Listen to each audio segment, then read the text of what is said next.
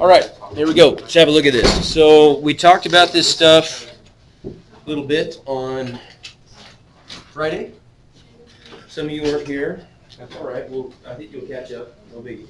So we want to write the quadratic expression in factored form. So there's, there's a, several different kinds of problems you're going to get, and they all are essentially the same thing. Some questions are going to ask you to do this, which just means factor. You're going to factor that expression. Sometimes I'm going to ask you to solve an equation. Like, for example, this one could have been written like this. Instead, it might have said, solve 4x cubed plus 32x squared plus 36x equals 0. Or I might have said, find the zeros of this function. They all essentially are going to ask you to do the same stuff. They're all going to ask you to to, well, to solve this, we're going to have to factor, right? So that we're just going to focus on that part of this problem because that's the hardest part. Once you got it factored, the rest of it is easy. It's just applying the zero product property. So that's no big deal. But we got to get it factored first. So let's talk about that, about the steps we go through to factor stuff. So the first thing we always want to do when we're trying to factor something is see if we can pull out a greatest common factor. See if there's something that we can undistribute from all the terms. That's always going to help. It's always going to make things easier every time. So is there? Yes. Okay, so the number part is 4, isn't it? The greatest common factor of 4 and 32 and 36 is just 4. That's the biggest number that divides evenly into all of those, right? So we can undistribute a 4 from everything. What about the variables? Can we undistribute anything else? No. I don't know. Yes. We can. What? X cubed or Not an x cubed, just an x. Okay, why though? Let's talk about why. So think what this means. If we're trying to, to factor out the greatest common factor, the greatest common factor is the biggest thing that's going to divide evenly into all of those, right? So let's show why this works. So if I were to divide the first term, 4x cubed, if I divide that by 4x by 4x, what do we get? Yeah, the fours are gonna cancel. Well, I'm not gonna get x cubed. What's x cubed divided by x to the one? X squared, how come? Oh, good, because when you divide like bases, you subtract the exponents. Good, so that's gonna be x to the three minus one, which is x squared. Good. Okay, so what about the next term? What about thirty-two x squared divided by 4x. or a X. Okay, good. So we know that 32 over 4 gives us 8, and x squared divided by x equals X. x. Okay, so we're left with an 8x. Okay, last one. So what about 36x divided by 4x? Nine A. Nine. Oh. Just nine. Just 9. Yeah, just 9, right? Because the x's cancel, and 36 over 4 is 9. Okay, do you see the problem that we would have had if we had tried to divide each of those by, let's say, x cubed, right? Well, I could have divided the first one by x cubed, and they would have just canceled, but what would have happened at the bottom if I had tried that? If I had 36x divided by, say we tried to divide by 4x cubed, well, 36 over 4 is 9, but then x over x cubed Negative. is what? X to the negative 2, right? Which puts that x on the bottom. That's not looking good, is it? Right? We don't want that. We don't want to end up with x's on the bottom of our answer. That's not what we're looking for, right? So the best we can do is undistribute an x because that's the biggest power of x that we could divide all three of these by, right? We're limited by that guy right there. He's only got an x to the 1. So I can't divide that term by anything bigger than x to the 1, right? Does that make sense? Think in terms of undistributing too. I could take an x cubed away from that one, or an x squared, or an x, because it's got x cubed to give, right? This guy right here, I could not take an x cubed, but I could take an x squared or an x, I could undistribute that. But this one here only has an x to give away, right? So the biggest I could do is undistribute a 4x, okay? So what's left when we undistribute a 4x? That's the next question. what's left behind? Well, there's a couple ways to think about this. One way, the way I prefer is just to ask yourself, what would I need if I were to distribute? If I were gonna undo the factoring out or the undistributing, say I wanted to redistribute. Well, four x times what would give me back my four x cubed? What? X cubed. X Cube. squared, right? Because four, in other words, four x times what is four x cubed? Well, I already got the four, but x times what is x cubed? X squared, right? Okay, four x times what? If I distribute over here, would give me thirty-two x squared. Four times what is thirty-two? Eight, right? And then x times what is x squared? X. Okay? plus four x times what is thirty-six x? Well, I already have the x, but four times nine, right? Have you seen those numbers before? Right there. Either way, you can think of it either way.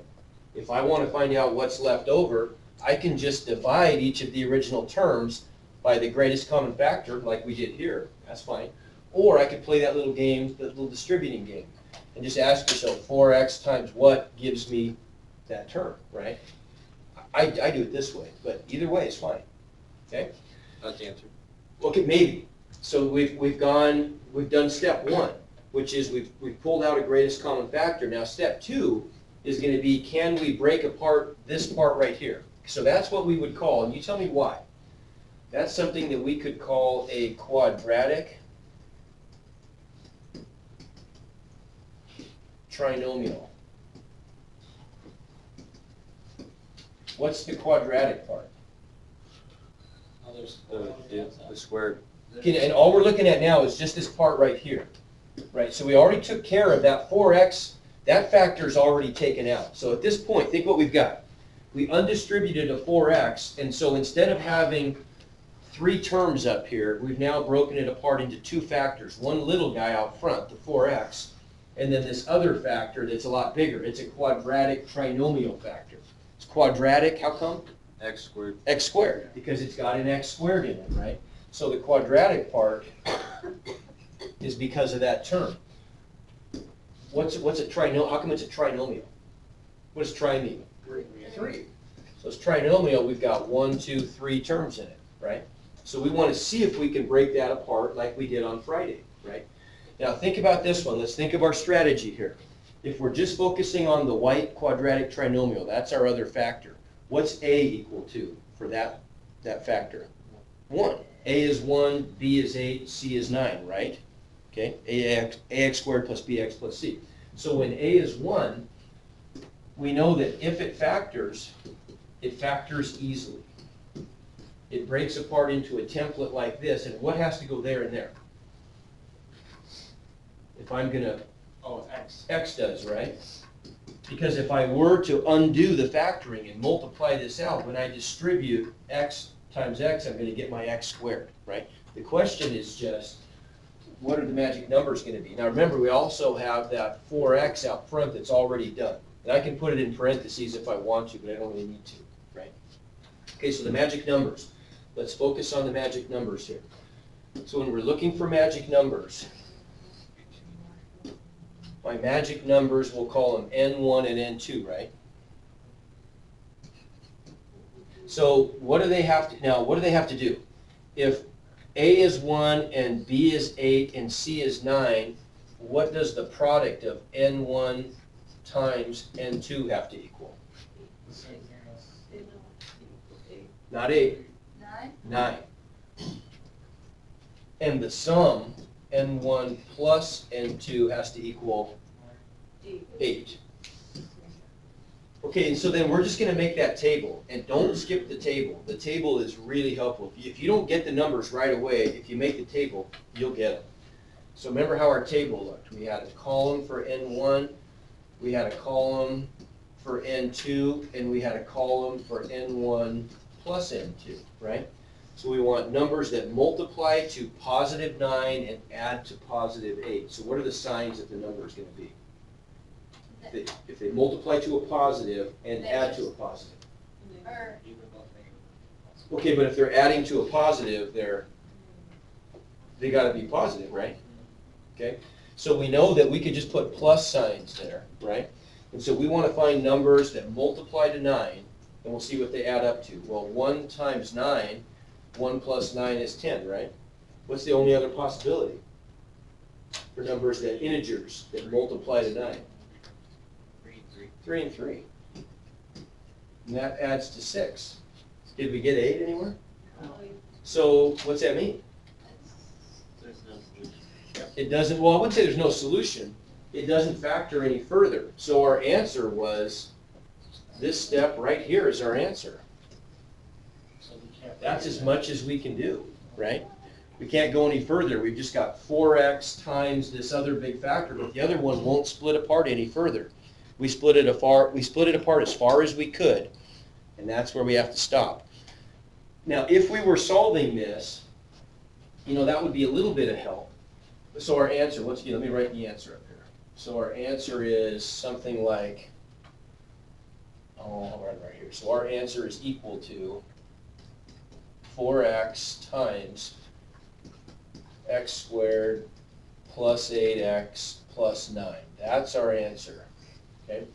If this all was set equal to zero, what would happen? Well, we, we'd know what the value of this solution would be. By the zero product property, the product of that factor and that factor could only equal zero when either one of them is zero, right? So either four x equals zero, which would make x zero, would we agree? Okay, or this would equal zero and we're stuck. We weren't able to factor it. So when we get back after Christmas break, we'll look at some ways that if something doesn't factor, we could still find solutions. Right? We could still set it equal to zero and find solutions, even without factoring it. Okay, but we're not quite there yet. All right, let's try another one like this. Slightly different wording here, but the same idea. Okay, this one's maybe a little bit easier though, right? So use factoring and the zero product property to find all real zeros of this quadratic function. Well, what does it mean to be a zero of a function? And, and zero is a really important word. What are we setting equal to zero if we're finding the zeros of a function? X. Not x, the function, right? We want to know where y is equal to zero, where it's crossing. If we were to graph the function, right?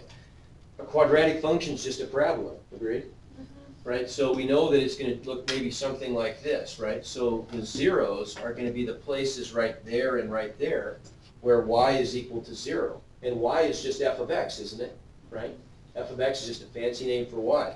So we're gonna set, we're gonna set f of x equal to zero, and that's the equation that we're gonna solve, right? Whatever we get when we set the function equal to zero, that's the equation that we're solving to find the solutions, right? Okay, so how are we gonna do that? So we've got x squared plus five x minus fifty equals zero. Okay, so this is what we talked about on Friday, right? It's not practical for us to just try to find the solutions that are gonna magically make all this stuff add up to zero. What we have to do is use the zero product property. We've gotta break it into factors, and then the factors, like if I have a times b equals zero, what's the only way that can happen? One of them is. Either A is zero or B is zero, right? So if I can split this apart into a product of factors, the factors are gonna be little. They're not gonna be quadratic, uh, quadratic expressions. They're gonna be linear expressions, no x squareds in them. So they're easy to solve, right? So that's our goal. Can we split this thing apart? Well, what's A equal to in this case? One, so this is easy. If A is equal to one, we know that our, if it factors, it's gotta fit that pattern, doesn't it? Right? Only thing we have to do is just find our magic numbers, right? So what do our magic numbers have to do here? N one times N two has to equal what? Negative fifty, right? Whatever C is. And N one plus N two has to equal five. So then all we have to do here is just make a, make a table.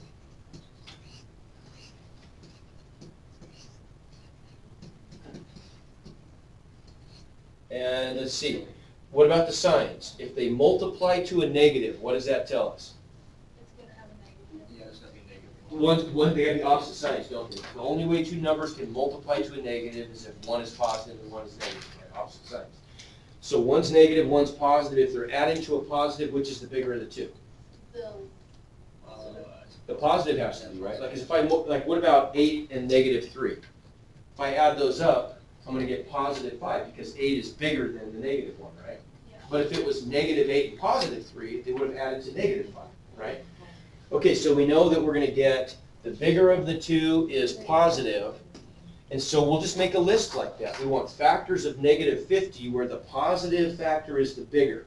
So we could do something like negative one times fifty is, that adds up to what, forty-nine? Too big. I could do negative two and twenty-five. Still too big, negative twenty-three. What's next? Um, Three doesn't go in, four doesn't go into fifty, five does though, right? So negative five and ten, what's that add up to? negative fifty. It adds to five, doesn't it? Which is what we want, right? We're doing four. right? So they, it- all these multiply to negative fifty, that's why we're choosing these, right? These are factors of negative fifty, but this is the one that wins. Because that's the one that adds to five, right? So those are our magic numbers, so we're gonna get x plus ten and x minus five, right? And once we get that, we're done. Now, by the zero product property, I know that the left factor times the right factor can only equal zero, and either the left factor equals zero, when would that be? What value of x makes that zero? Negative ten. So that's one thing, or the right factor equals zero, Five. Five. Or five, good. Okay, see, no big deal, right? That's what we did on Friday. Okay, so now the next step, and this is not, this isn't hard. The next step is just to expand this a little bit. So what about, what happens in a situation like this? Why is this different? This would be considered a harder problem. How come?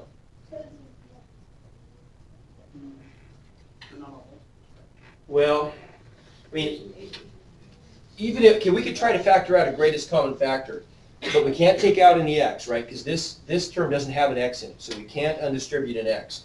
Is there any number that divides into both 18, 21, and 4? One. One, but but one doesn't help us, right? We're looking for a greatest common factor other than one. So we can't do anything with that, but then something about this is a lot different. There's no x negative. Yeah, but I mean, there wasn't on this last one either, but something was different here. This was a lot easier when we factored this one. How come? Uh, x squared was by itself. The x squared was by itself. A was equal to one, right? Question? Can I go to the- Yeah, you bet. Right, so, so A was equal to one, and that made it simple, right? In this case, the difference is here, right? The difference is that's not one, right? So that makes things a little tougher. So what's our strategy when we're trying to factor something that, factor a quadratic trinomial like this where A is not equal to one? Okay, there's a way to do this. Do you guys remember bottoms up? Raise your hand if you ever learned bottoms up. Okay, raise your hand if you remember bottoms up. Kind of. Maybe, sort of. Okay, let's, let's run through bottoms up. Bottoms up is not hard. Bottoms up makes this really pretty easy. So don't be, don't be intimidated by this. This is not a big deal. Here are the steps for bottoms up. Let's just step through these. I'm gonna color code these so you can follow the steps, right? Okay, so the first thing we're gonna do is we're gonna find magic numbers just like before, but the magic numbers, there's a little bit of a difference. We're not finding numbers that multiply to, I'm supposed to say add to b. Okay, I gotta fix that. That's gonna mess you up. And add to. So the numbers have to multiply not just to c, but they have to multiply to the product of a and c, whatever that is. Honestly, that's what we did last time too, but we didn't notice. How come? Last time we said they just had to multiply to negative fifty, we said they had to multiply to c, but what was a? One. What's one times negative fifty? Negative. Negative. Negative fifty. So really, it was a times c, but because a was equal to one, we didn't really need to worry about the a, right? So now that a is not equal to one, we do have to worry about it. So we gotta find magic numbers that multiply to A times C. So first of all, what is A times C? A times C, eighteen times negative four. What is that? Negative something. What? Forty-two. Eighteen times four. You can either just double eighteen and then redouble it, or you can multiply, you know, you could multiply, uh, Seventy-two? Yeah, so if we're gonna, right, we're gonna multiply this times four, we could just multiply ten times four and then eight times four and add them up. I don't care. They're both about equally. What do you get?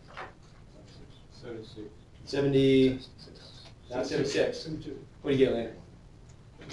Wait, wait, Eighteen times four. wait. Seventy-four. Double it. Seventy-two. So double eighteen is thirty-six, right? What's thirty-six double? What is it? Seventy-two, there you go. Okay, so A times C is negative seventy-two. What's B? That's the same as always. What's B? Hey, uh, everybody up here, I need you up here. Negative Jonathan, close that up, please. What, what's B? Negative Twenty-one. Okay, so we gotta find numbers that multiply to the product of A and C. So you're gonna multiply to negative seventy-two and add to B, which is negative twenty-one, right? So let's find those magic numbers. So N one times N two equals negative seventy-two. N one plus N two equals negative twenty-one. So let's just make one of our tables. N one N2, and then the sum of N1 plus N2. Okay, what about the signs? Let's think about this. If they're gonna multiply to a negative, what's that tell you about the signs? Same or opposite? Opposite. Opposite, and if the, if the sum is negative 21, which is bigger?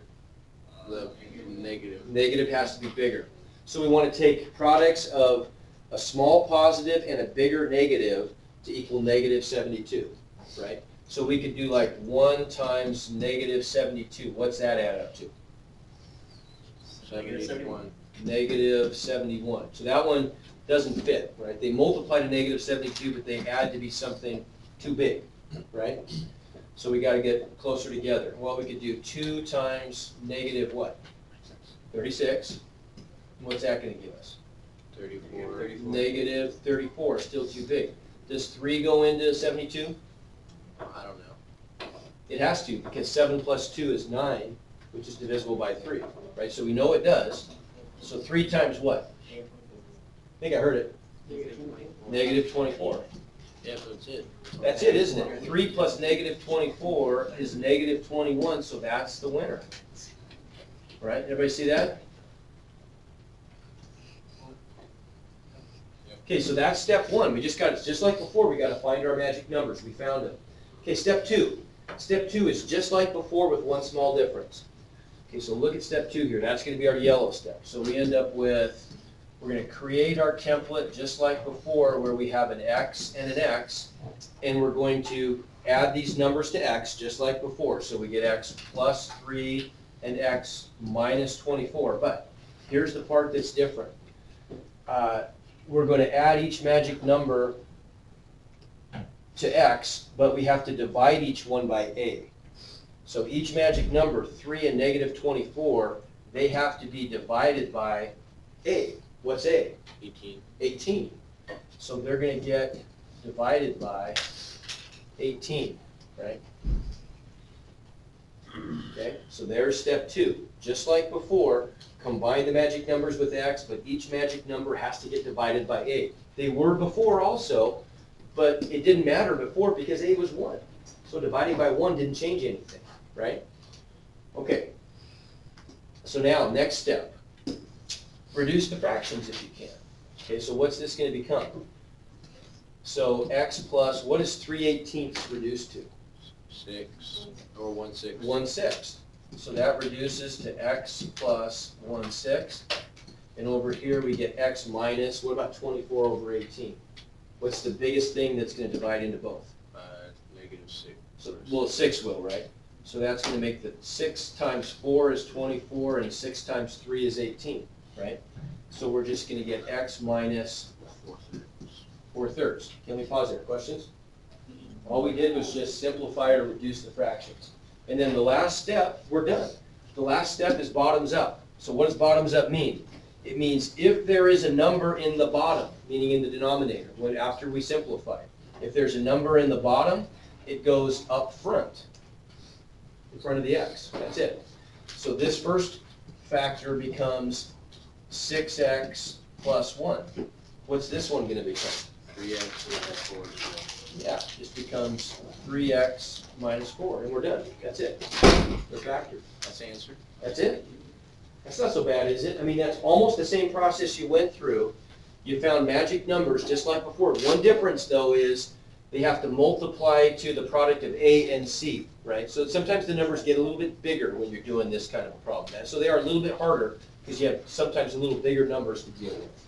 But after that, nothing really was that bad, right? Once we find the magic numbers, we just make our templates just like before, only we have to divide the magic numbers by A, reduce the fractions, and go bottoms up, and we're done. Okay, so try one. No, no, no. How much time we got? We have time. So try, let's try this one. Alex. Okay, so we're gonna find the zeros of this, right? So we're just gonna set the, here's the equation we're gonna get. We're gonna set the function equal to zero, and we're gonna solve, but the way we're gonna solve is by factoring. Can I take out a, a greatest common factor? No. No, 13's prime, right, and there's no x there, so I can't. So I'm stuck. So what do my magic numbers have to multiply to here? Uh, one there. one E and two. N1 times N2 equals Forty. 40, right? Everybody see that? Because A times C, 20 times 2 equals 40. So that comes from these two, right? Okay, and they have to add to what? Thirteen. Yeah, they add to 13. Okay, so we just have to find numbers that multiply to positive 40 and add to 13. Well, what are those? I bet you can think of them right now. What numbers multiply to positive 40 and add to positive 13? Uh, We can make a table too. No? Close. five and eight. That's it, Got them. right? Does that make sense? I mean, they're both positive, aren't they? So if we tried, I mean, like, if we tried something like, say we started with 20 and 2. I should get some more batteries. Those add up to twenty-two. That's too big. Remember what we said on Friday? If, if they add to a number that's too big, it means the numbers are too far apart. As the numbers get closer together, their sum gets smaller. Twenty-two is too big, so I gotta move my numbers closer together. So I could do four and ten, and that's gonna give me fourteen, but I need thirteen, so we're close. They have to get a little bit closer together. Five and eight. Well, that's five and eight, right? So there's our winner. Okay? So now what? What's my, Divide by A. okay, so I'm gonna set up my template with those numbers, right? X plus five times X plus eight, and what do they get divided by? Twenty. Twenty, right? Because that's A. Everybody see that? So they get divided by twenty. So now what? X, what, reduce the fraction. Okay, good, reduce fractions. So this becomes x plus what? One fourth, Fourth. and x plus Four times. two fifths, yeah. Four goes into eight two times, goes into twenty-five times. So what's my answer then? We're done. Uh, four X plus one. Yeah, we just go bottoms up, right? If there's something on the bottom, it goes up to the front. Four x plus one times Five X plus two. five x plus two, we're done. How about that? And then if I were trying to solve this, oh, here, I want to make one more point, and then we're done with this. So our whole point here was, we're trying to solve this thing, right? So it's set equal to zero. Everybody agree? Yep. Okay, so then this whole thing is set equal to zero. Did we even have to do this last step before trying to solve the equation? We didn't. In fact, we don't, it's probably good not to. I don't need to do that because right here, I've got enough information to be done. By the zero product property, Caleb, you tell me, I've got two factors, the product of the left and the right equals zero, right? So that means that either the left factor is zero or the right factor is zero. What's gonna be the value of x that's gonna make x plus one fourth equal zero? Not, what is it? Negative one. Negative one fourth, good. See, so I don't, I don't need to do bottoms up, do I? I get x equals negative one fourth, or what's gonna be the value of x here? x plus two fifths equals zero, what would x have to be? Negative two fifths. You see, so there's really no point in even doing the bottoms up part, we can just stop right there if we're just trying to find zeros. Okay, see that? Yeah. Okay. Wow, that's a lot for a Monday. Thank you.